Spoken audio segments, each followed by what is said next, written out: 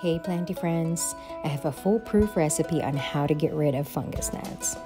Bear with me, this is gonna look like a science experiment, but I promise it works. I will post the recipe at the very end so you can take a screenshot of it and save it if you wanna give it a try.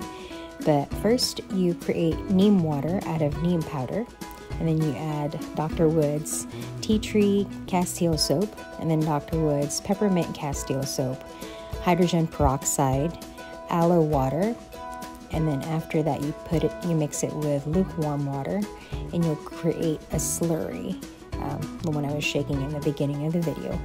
Once you have that just soak your plant real well. Make sure uh, it's all soaked all the way to the bottom. This will replace your normal watering schedule.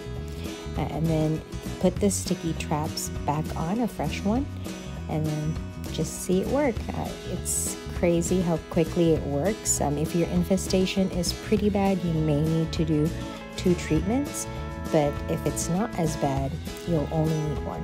So here's a comparison of a plant that I've treated versus a plant that I didn't treat. So you see my Burle Marx I had treated in the beginning of the video.